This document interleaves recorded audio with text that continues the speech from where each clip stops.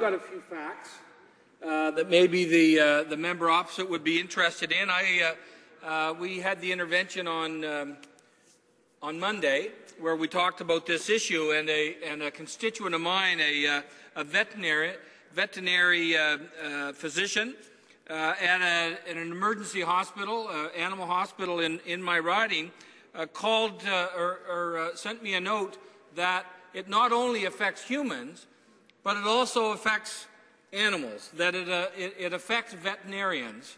Um, and the problem that they're having, they're having to come up with new protocol. Uh, they're having to try to figure out how to treat the animals in their care because they are the last ones to get it after humans and it's putting a great deal of stress and pressure on their practices and their ability to serve their clients. And I'd like to uh, uh, ask the, uh, the member to, uh, to indicate if she doesn't share with me the concern that there are more Canadians that are being affected by this problem than this government is prepared to admit.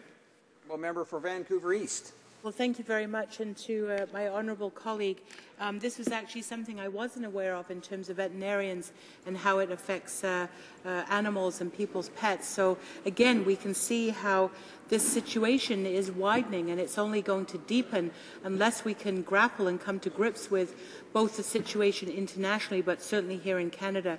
And, and I do feel, you know, very concerned that in the U.S. they've taken much stronger action uh, in Monday's debate, I read out some of the information about President Obama's response to this crisis and the fact that Congress um, is, is taking very strong action.